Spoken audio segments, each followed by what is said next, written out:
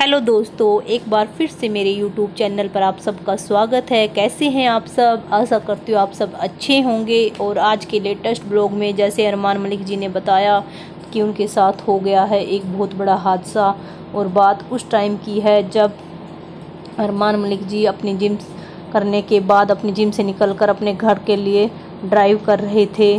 तो बस उसी टाइम दो अनजान आदमी आते हैं और उनकी चैन खींच कर ले जाते हैं। तो बात ऐसी है कि अरमान अलिक जी कर रहे थे ड्राइव और उसी टाइम दो बंदे बाइक पर आते हैं और एड्रेस के बहाने अरमान मलिक जी से बात करने लगते हैं। तो जैसे ही अरमान मलिक जी उनको एड्रेस बता रहे थे तो पीछा बैठा एक बंदा बाइक से उनकी चैन खींच लेता है और स्पीड से बाइक लेकर निकल जाते हैं।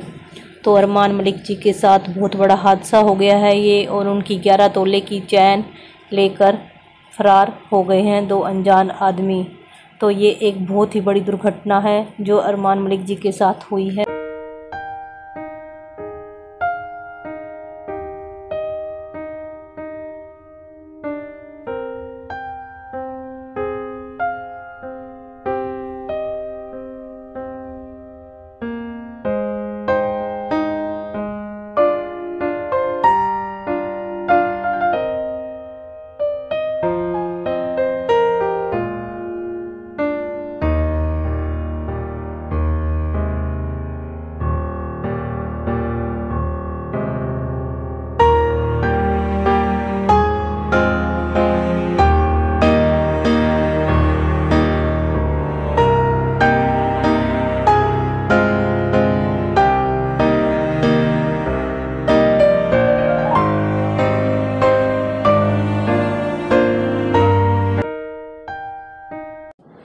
और जैसे ही इस घटना के बाद अरमान मलिक जी घर पहुँचे तो उनके इस हादसे के बारे में सुनकर उनकी दोनों पत्नियाँ हो गई हैं बहुत ज़्यादा परेशान और इस चैन स्निचिंग के टाइम अरमान मलिक जी की गर्दन पर भी बहुत ज़्यादा निशान आए हैं और उनकी गर्दन बहुत ज़्यादा लाल हो गई है। तो दोस्तों, मेरी इन्फॉर्मेशन अच्छी लगी हो तो मेरे चैनल को सब्सक्राइब कर लीजिएगा ताकि ऐसी नई नई इन्फॉर्मेशन आप तक पहुँच सके।